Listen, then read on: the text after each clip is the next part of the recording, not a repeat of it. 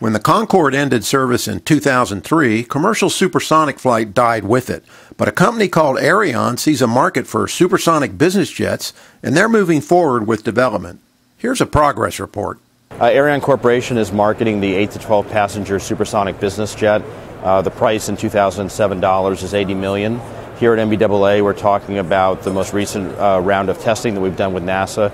We've flown a representative sample of the wing at speeds of up to Mach 2 on their F-15B, and that was to really look at issues of manufacturability and operations in flight. So first, we wanted to see that the uh, tolerances that would be needed in manufacturing to build the SBJ are no more complicated than what we have for current state-of-the-art business jets. And then we wanted to look at issues of, of insect accretion and other things that would affect the natural laminar flow in flight. And what we have seen from both the manufacturing side and from the operations side is that there are no showstoppers. That this aircraft can can easily be manufactured and operated, um, you know, under current business jet state-of-the-art practices.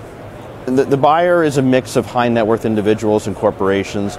We have uh, letters of intent for 50 aircraft to date at the current configuration, priced at 80 million in 2007 dollars.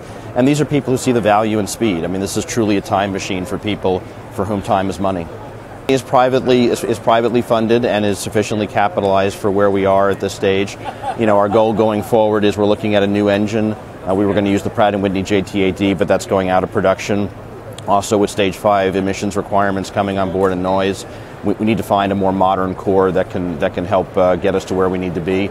So the goal for over the next year will be to to uh, continue our discussions with the Western engine manufacturers, find a new engine, and then after that, secure an OEM agreement, joint venture, and take this into production. We're hoping for certification in 2020 and entry into service in 2021.